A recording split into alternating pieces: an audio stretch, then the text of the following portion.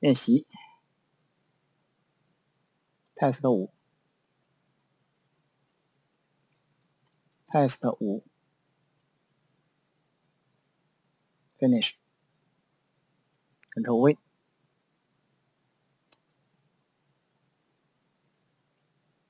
好，那么这个题呢，我们可以把它分成两句话哈，一句呢是从键盘接收一个文件夹路径。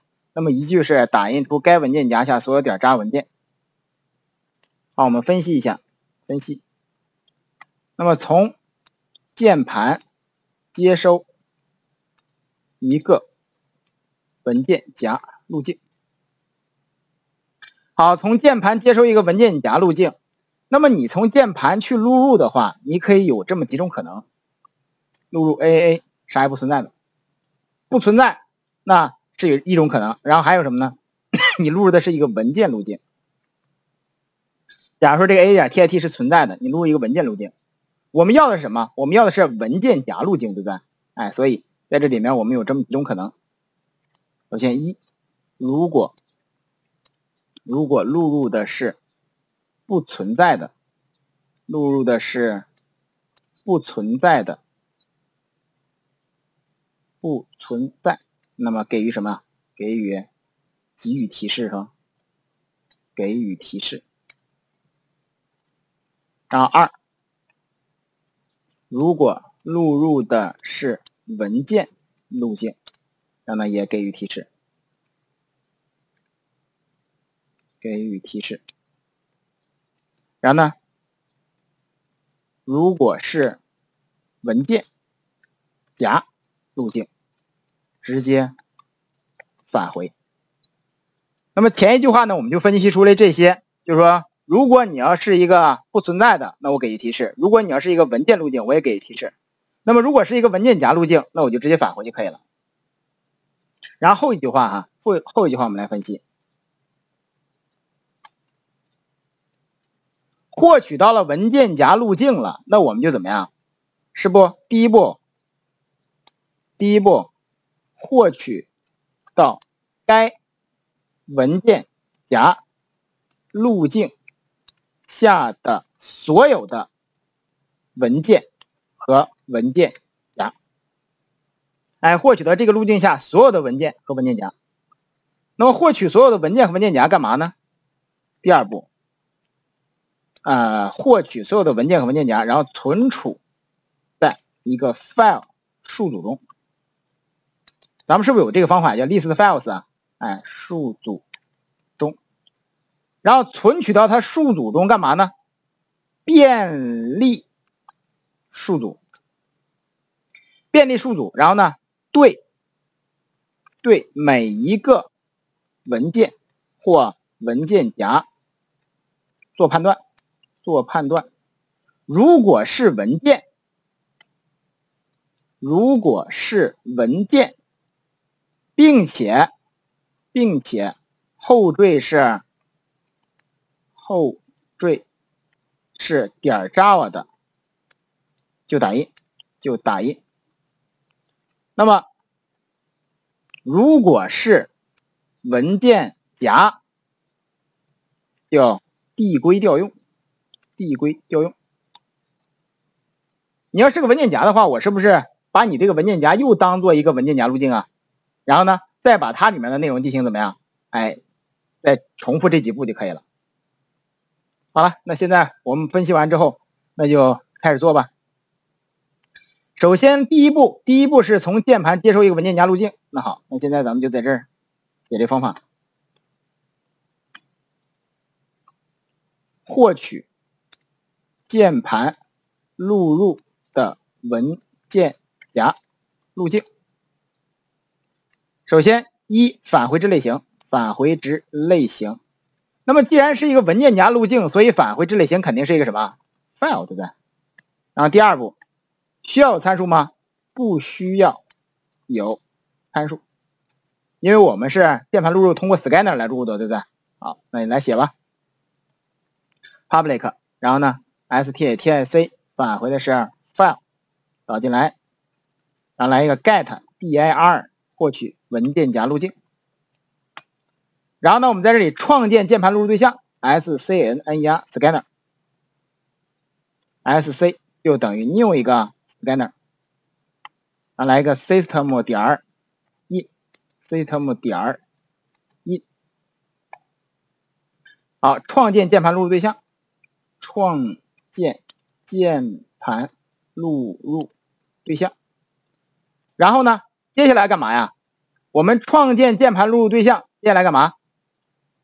你是不是要不断的去循环录入啊？然后呢，只有正确的我返回，不正确的我就怎么样？我就给你提示嘛。好，那就来一个 S O S O，先提示，呃，在这里面先提示一下啊，请输入一个，请输入一个文件夹路径。好，然后我们来个无限循环，while true，while true。While 处无限循环，然后这里面我们把键盘录入的结果存储起来，sc 点 next line，将键盘录入的文件夹路径存储，然后呢，我封装成一个什么？file 对象。，new 一个 file。然后这里面来一个 LNE，封装成 file 对象，封装成 file file 对象。好，封装成 file 对象，接下来干嘛呢？我们要对它进行判断了，对不对？哎，封装目的不就是为了对它进行判断吗？那么如果 dir 点 exist 要是不存在的话。如果它要是不存在，我们就干嘛呢？我们就提示一下，说您录入的您录入的文件夹路径不存在，请重新录。好，再来 else if，那么不是这个不存呃存在这种过的话，是不是就存在啊？那到这里面我们不希望要啥呢？不希望要文件。好。那么来一个 dir 点 is file is file，如果你是一个文件，iso 我们就提示您录入的是文件路径，请重新录入文件夹路径。好，再来一个 else，再来个 else，然后呢？如果你是存在的，而且不是一个文件路径，那肯定就是个文件夹路径。所以我们来个 return 返回一个 file 啊 dr 返回 dr。那么这样的话，我是不是就拿到文件夹路径了？哎，拿到文件夹的路径。好了，那接下来我们来再再做这个事儿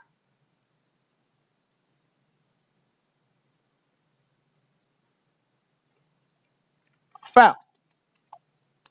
file，然后呢，就等于了啊，file dir 就等于了 get dir，这个是不是就获取到了这个文件夹路径了呀？那获取到文件夹路径，我得把这个路径下的所有点 jar 文件获取出来，所以咱们得怎么样？再做个方法，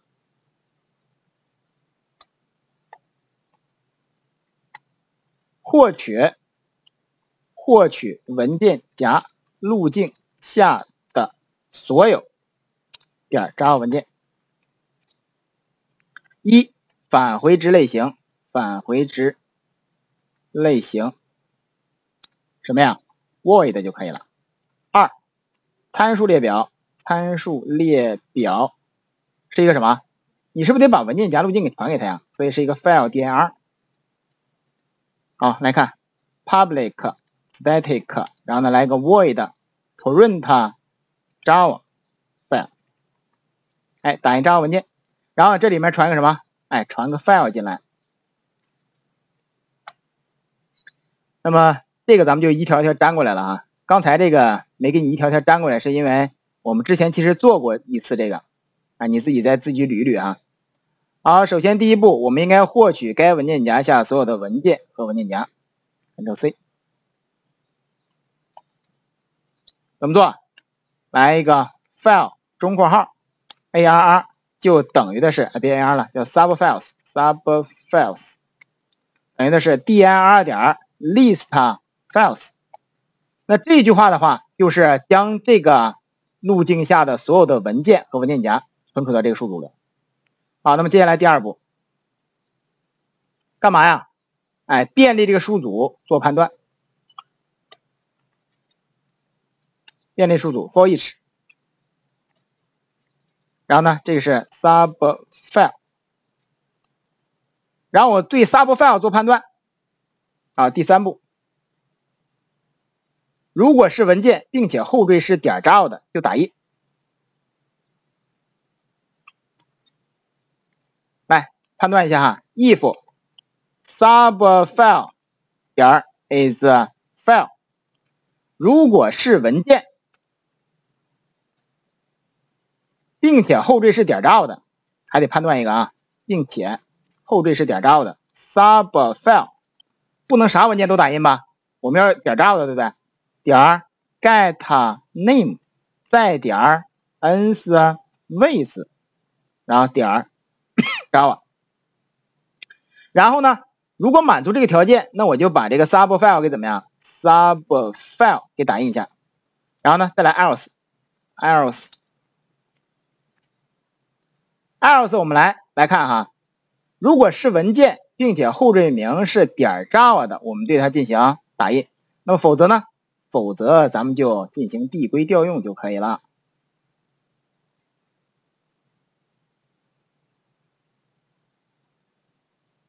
好，在这里面，否则，呃，不能直接对它进行递归调用，这里面要做一个判断。为什么呢？因为你想啊。在这里面，我们判断的是是文件，并且后缀名是点 java 的，然后呢，我们就怎么样了？就对它进行打印。但是还有一种情况，就是我是文件，但是我后缀是啊什么 GPG 啊、点 tit 啊，那这些你是不能用递归调用的。为什么呢？文件你用递归调用怎么去调用啊？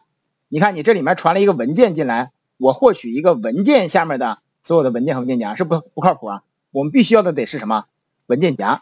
所以这里面还得再做个判断，如果 dir 点 is directory，如果是一个文件夹，那我们就怎么样呢？递归调用 print java file 把谁传进来啊？把这个 sub file 传进来。